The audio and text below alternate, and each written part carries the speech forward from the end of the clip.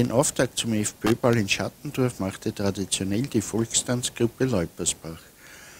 Landeshauptmann-Stellvertreter Johann Schürz und Landesratmagister Alexander Petschnik waren natürlich mit dabei.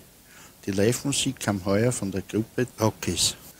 Diese spielte nach den Eröffnungstänzen der Volkstanzgruppe Leupersbach groß auf und die Ballnacht ging dann richtig los.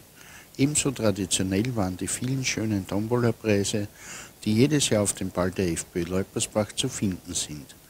Mit Musik, Tanz, gutem Essen und Getränken ging es dann bis in den frühen Morgen.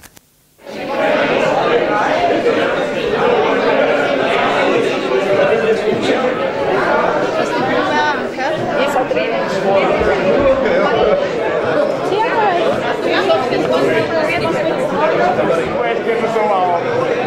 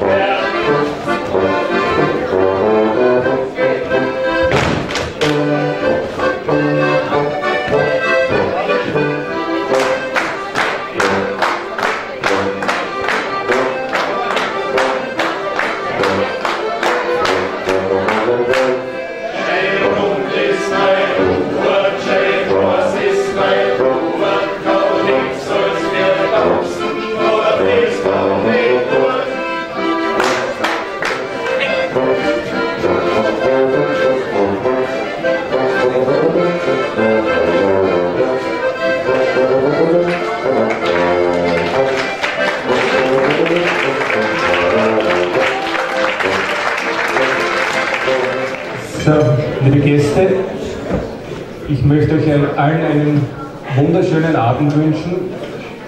Wir haben heute den, nicht, wievielten FPÖ-Ball und das ist immer wieder ein Highlight, wie man so erfüllen kann und wie viele Gäste das immer wieder zu uns kommen.